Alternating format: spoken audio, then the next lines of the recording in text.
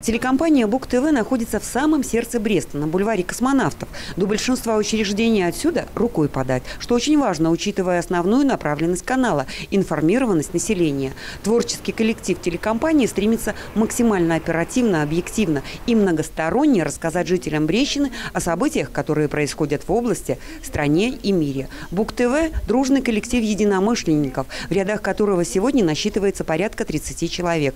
Структуру телекомпании составляют несколько отделов – административный, новостной, эфирный и рекламный, а также редакция программы «Примите поздравления». Самый многочисленный из них – новостной. Здесь на ней создание качественного информационного продукта, то есть интересных и полезных сюжетов о событиях, которые произошли в городе Бресте и регионе, трудится 13 человек. Главный редактор, режиссеры монтажа, дикторы, журналисты и операторы. У каждого из них свои функции и задачи, от своевременного и эффективного выполнения которых зависит конечный результат работы всего коллектива.